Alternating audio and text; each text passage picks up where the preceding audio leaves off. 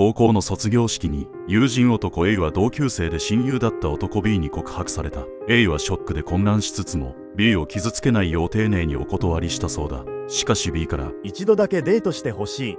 と懇願され情もあって承諾したらしい。で実際デートしたんだがというか二人きりで映画を見て食事をしただけ。別れ際に俺が女だったら A は俺と付き合ってくれたか？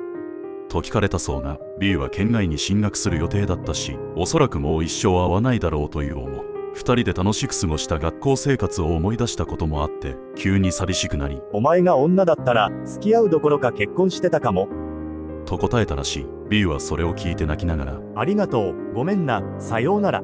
と言ってざり A も涙が止まらず B の背中が小さくなって消えるまで見送ったそうなそれから数年後 A はバイト先で知り合った C という女の子に告白され付き合った。C は断るごとにああ、女に生まれてよかった。という癖がある子だった。ある日 C がやたら上記のセリフを繰り返すのでいつもは聞き流す A もなんで？と聞いた。すると C はだって私が男だったら A は私と付き合わなかったでしょ。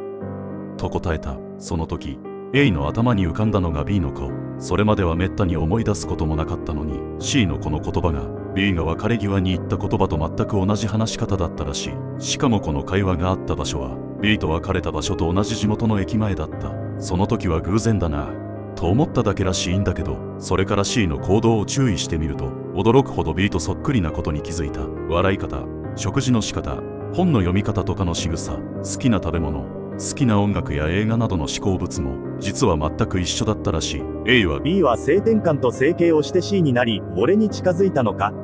なんてことも思ったが C の親当然 B の親とは別人にも会っていたし C の女子高時代の友人にも会っていたし第一身長が全然違う。B は 170cm 超え C は 150cm ちょっととかなり小柄だ。だからただの偶然だ。似てると思うからそう見えるだけだ。と自分に言い聞かせたらしい。しかしある日 C 宅で A と C が2人でテレビのロードショーを見ていた時 C がこれ懐かしいね。最初のデートで見たよね。と言ってきて A はぎょっとした。その映画は B とのデートで見たもので C とは見に行っていないからだ。この映画やったのって俺ら知り合う前だよ。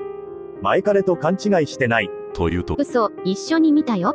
と言って聞かない。それどころかその日のエイの行動を細かく話すホットドッグのケチャップをこぼしたこととか釣り線間違えられて得したこととかしかもそれは全て事実。さすがに怖くなって A は適当な理由をつけて帰宅した。それから A は C のことが怖くなり好意もなくなってしまったので別れを告げた。別れ話は修羅場で。C は泣くわ暴れるわ死のうとするわ。手がつけられなかったらしい結局 A はバイトを辞めて。一時は家族や友人一同にも音信不通となって県外へ逃亡。連絡が取れるようになってからことの顛末を聞き男らしくないなと私が言うと。だって結婚するって言ったじゃん。だからこの女になろうと思ったんじゃん。って C が言ったんだよ。手首切った後に絶対やべって思うじゃん。と A は答えた。最初話を聞いた時は仕草や思考物の一致は偶然。映画云々の話は A と C の勘違い。A は映画デートの一件を C に話していて C がそれを自分が経験したことだと勘違いしている。と私は思ってたんだけど。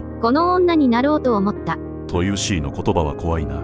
とちなみに A は B に告白されたこと。C にもバイト仲間にも話していません。A は今再び音信不通状態なんだけど思い出したので投下してみました